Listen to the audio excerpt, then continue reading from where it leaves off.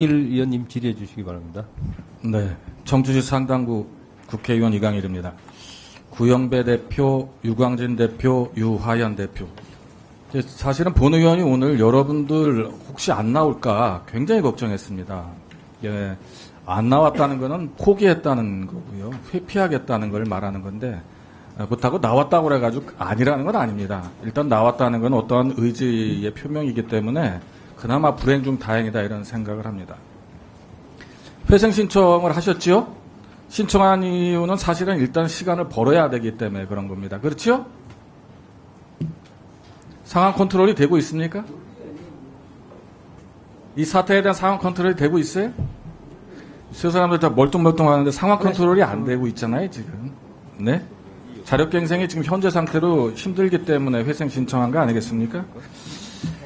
지금 구영배 대표가 정상화 자신하고 있는데 저는 독선적 확신이라고 자신을 합니다. 자기 최면에 좀 걸리신 것 같은데 지금 답변하는 거나 인터넷에 암만 찾아봐도 이러한 회사들을 운영하는데 리스크 관리를 위한 조치를 했다는 걸 본 기사에서 하나도 검색을 못 했어요.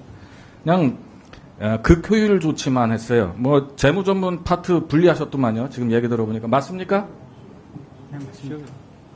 사실은 현금 유동성만 갖고 현 자금의 흐름만 많이 생각하는 구조일 때 나타나는 게 재무 전문 파트를 통해서 자금을 유- 활용하거나 나쁜 말로 하면 유용할 때 많이들 쓰는 방식인데 지금은 효율화에 극조치는 다 했어요. 그런데 제대로 된 리스크 관리를 전혀 하지 않았다는 겁니다. 그러니까 보니까 대표인데도 불구하고 재무제표의 현금 흐름이라든가 뭐 어떤 자금의 흐름에 대한 부분이나 이런 것들을 정확히 파악하지 못하고 있는 겁니다. 사실 사주 측에서 정상화 시킬 수 있는 방법 사실은 한 가지밖에 없지 않아요? 제가 얘기해 볼게요. 자본적 충전이 이루어야 이루어져야 되죠. 그것이 아니라면 견실한 수익 구조를 갖는 경영 구조가 돼야지 둘 중에 하나가 아니면 불가능한 거 아닙니까? 맞습니다. 근데 제가 지금 중요한 거는 견실한 경영 구조가 좀 있느냐, 수익 구조가 발생할 수 있느냐, 전제를 자꾸 깔고 말을 해요. 자본 시장을 위해서 뭐 사실은 자본적 충전을 받으려고 하는 게 너무 강하고 또 다른 거는 규모를 키워서 규모의 경제를 실현해 가지고 실현하려고 하는 이런 의지가 너무 많이 보인다는 얘기예요. 그 요번에 저기 직원들 지금 줄 사퇴하고 있다는데 맞습니까? 직원들 사퇴하고 있다는데 맞아요?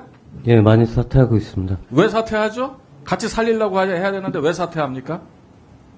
이 시그널은 직원들부터가 도망가고 있잖아요. 직원들이 확신을 못하고 있는 거 아닙니까? 두 가지 확신을 못하는 겁니다. 회사가 정상화되지 않, 않지 않겠느냐라는 불안이고요. 또 한 가지는 여러분들의 의지에 대해서, 여러분들의 체에 대해서 실력을 못 믿기 때문에 그만두는 거 아니에요? 다른 이유 있어요? 그만두는? 아이, 답답하네. 대답을 다 안 하니까. 이거 뭐. 어, 그, 의원님 지적 어, 충분히 맞습니다. 다른 이유가 있으면 얘기를 하시라고요. 제, 그 제- 지분 매 모두 내놓겠다고 했죠. 사실 지분이라는 건 사실 허상이에요.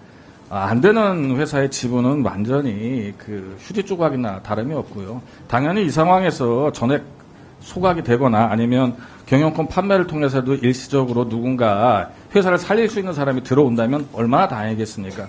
저는 여러분들 이미 벌어진 일 갖고 여러분들의 사법적 책임을 받는 거 하나도 관심 없어요. 지금 제가 관심 있는 거는 국민들과 이 직원들과 소비자의 피해가 얼마나 줄어드냐만 관심이 있습니다. 지금 결제가 최단 40일에서 최장 70일이 걸리더만요. 판매 시점에서 아, 월말 개- 계산해서 2월, 2월 7월 7일이나 10일 날 이렇게 결제가 되니까 보니까 평균 55일이에요. 제가 근데 보니까 두 회사의 월 매출액 평균이 한 4천억 정도 되거든요. 맞습니까? 아니, 지금 뭐 사- 묻는 사람보다 경영하시는 분들이 이걸 잘 몰라요? 사채가 안 됩니다. 4천억 지금 안 돼요? 네. 2022년 기준으로 4천억 정도 된다고 여기, 여기 나와 있는데 안 됩니까? 그, 총 거래 보신 것 같고요. 네. 거기서 이제 저희가 계산하는 방식은 쿠폰이나 이런 거 실결제액으로 보기 때문에 한 그것보다는 3천억은 됩니까? 네.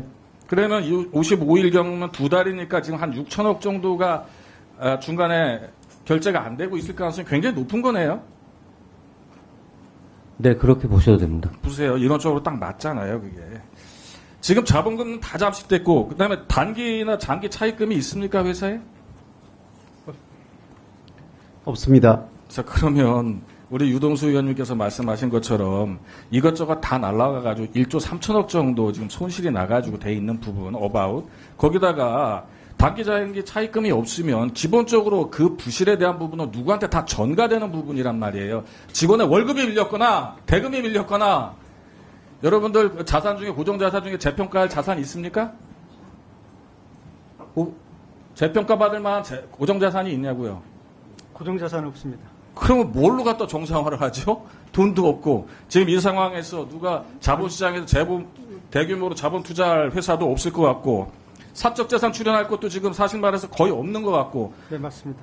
그럼에도 불구하고 지금 아니 논리적인 계신 얘기를 해요. 조, 아니, 본 의원도. 기본적으로 조그만 회사를 많이 운영을 해봤어요.